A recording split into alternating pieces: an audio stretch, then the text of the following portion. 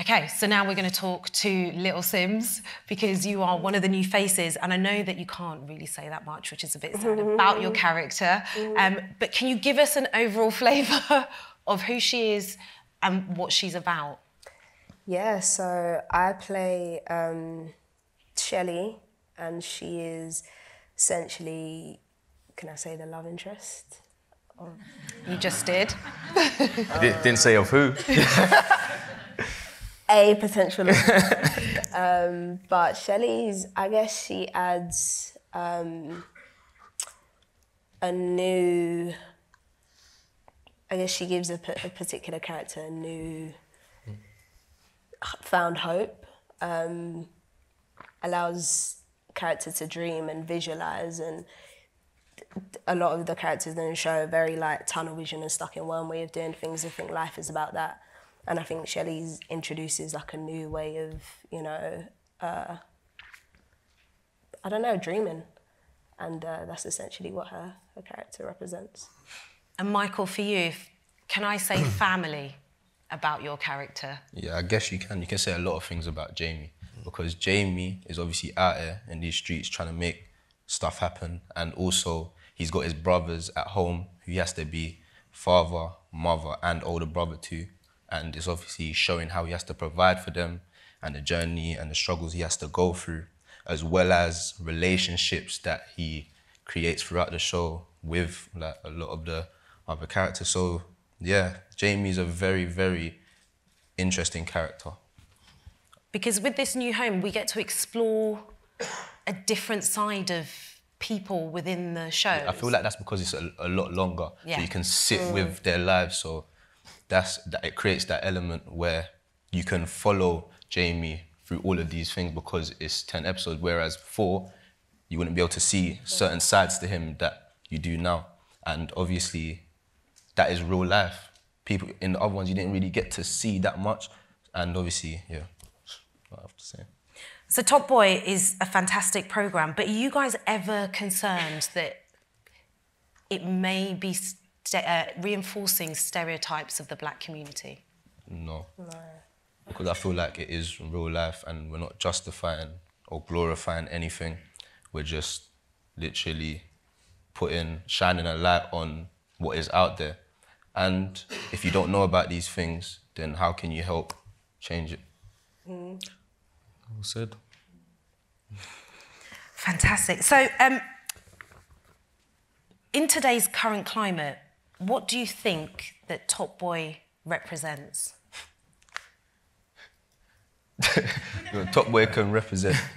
Well, for me and my character, what I learned through Jamie is that no matter what, everyone is really trying to be at the top. And if you're not, then what are you really doing? Like, like if you're not trying to be at the top of your game, then what are you actually really doing? And Jamie opened it up for me. So that is basically what it is. Ambition. Every, yeah. yeah. Uh, yeah, nah, I, I, feel, yeah, Top Boy represents, you know, ambition on screen and off screen as well because, um, you know, I think he gives a lot of opportunity to, to, uh, you know, actors, current actors and new actors, and yeah, represents truth and represents a, a, a community that, um, you know, yeah. isn't isn't always heard, you know. Yeah. Yeah, Top I mean, Boy represents a lot, man. But I mean, for me, sorry, uh, for me, you know, writers, uh, you know, writers don't just write. You know, you you you you watch, you listen, you hear things, uh, you learn things. You're in, it, you live in a community. You look at that community, and you see, you know, there's difficult, there's great stuff, fantastic stuff, but there's also difficult stuff too. And um, you know, I, I I've said this before, but London is so cheek by jowl. You know, you, you, you can have a really nice street and you turn the corner and you're somewhere that is deprived. I mean, it is clearly run down, it is impoverished. And, uh, and those two worlds are living right side by side with each other. And that was what first, you know, got my attention was seeing uh, in a supermarket, uh, you know, a couple of hundred meters from my house one day, just seeing a kid uh, 10, 12, whatever, selling drugs. And um, it it was it was a school day, and all the other kids were going to school and so on. And he wasn't there. He was serving, and uh, uh, people would come up, money would change hands. He'd drop something on the ground, go off again. There, uh, uh, sometimes a bicycle would come. You know, all so you're, what you're watching on your doorstep is a kid who needs help. I mean, that kid needs help. And then you kind of look into it a bit more, and then you go, wait a minute, this isn't just about one kid, this is about a community. And why is that? And the, the kind of question that Top Boy asks, but you know, I never, listen, I'm an intensely political person, but you, it, this is drama, this is entertainment. You have to do it within a story. It has to be, you know, it has to grab people. You can't deliver lectures. Um, but the more I kind of asked around and, and talked to these kids, you just saw how widespread it was. And actually, this is a community that's in trouble. It's a community that uh, is overlooked. You have to ask, why are people doing this? And Top Boy does that. You know, it's about, we see it in Jamie's case. Uh, we see the, the, the, character played by Micheal. We see it in, in the other cases too. Some of it is just ambition and it is crime. Others, it is what else have we got? You know, we are shut out. Uh, we, you know, we are despised. Uh, you know, people. You know, this. We are excluded. So we're going to make our own way in the world, and they do it. And the value system with which they do that is messed up badly. But you can't blame them for having a value system. You can't blame people who have been locked out of a, out of a world, you know, that, you know, that, that most of us have access to on one level. You can't blame them for then saying, okay, you're locking me out, I'm going to make my own world. And my own world will have its own rules. And I'm going to do this and, and basically fuck you.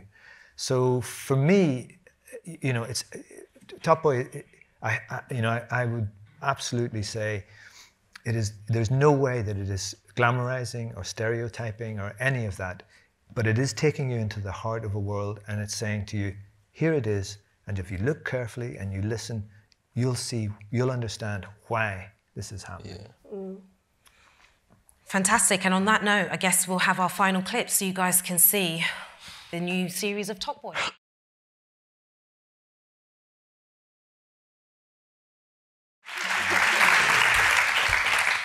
Uh, we've had some questions in from the crowd um, that we want to throw out, and then we might get to another clip if, if we can. Um, one question that I think people want to know is how involved is Drake? Is Drake going to appear on the streets of the Summerhouse estate? Look, there's one part we walk. It's not. He's. We walk across the road one day. He's busking, rapping. We throw some change in his hat, and then we keep it moving. That's his only involvement. That, that's it. no, but for real, because people are going to believe that. That's going to go. um, I, I, I, guess I don't know. Jay, I guess Drake's an executive producer, so maybe it's a question more for the execs, but just on my part, I know obviously we met Drake at the beginning um, when we was discussion or when the Netflix deal came about. You know, me and Ashley and him, we sat down and spoke, and and he was just like, look. And by the way, Drake's not silly. Like he's aware of the talk. You know what I mean? That kind of you know stuff going on, culture, jumping on the hype and all this whatever. He's like, look, I'm a fan of the show. I just wanted to you know, see if there was any way I could help to bring this back, you know. And that's why I'm in the room. But you guys need to create the show just the way you did, the same reason, you know, that I ended up loving it. And I guess if, you know, we need him, he's there, you know, in terms of the show is finished, maybe some promotional kind of things and, and whatnot. But yeah, influential in acquiring the Netflix deal, as I hear.